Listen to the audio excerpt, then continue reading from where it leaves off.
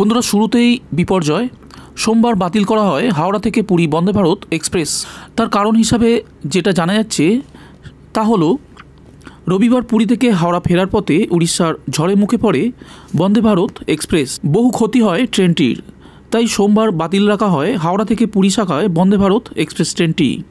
রেলের তরফে জানানো হয়েছে, রবিবার ঝড় বৃষ্টিতে ট্রেনের যা ক্ষতি হয়েছে তা- সারাতেই সোমবার বন্দে ভারত বাতিল করা হয়। তবে যেসব যাত্রীর টিকিট কনফার্ম ছিল, তাদের পুরো টাকা ফেরত দেওয়া হবে।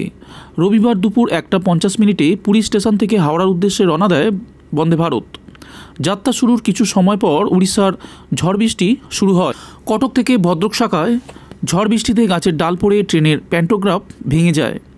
এরপরই থমকে যায় ট্রেনটি। বিদ্যুৎ বিচ্ছিন্ন হয়ে পড়ে ট্রেনটি। শীততাপ নিয়ন্ত্রিত কামরার এর জেরে দুর্ভোগে পড়েন যাত্রীরা। দীর্ঘক্ষণ ধরে ট্রেনের কামরায় অন্ধকারে থাকতে হয় যাত্রীদের।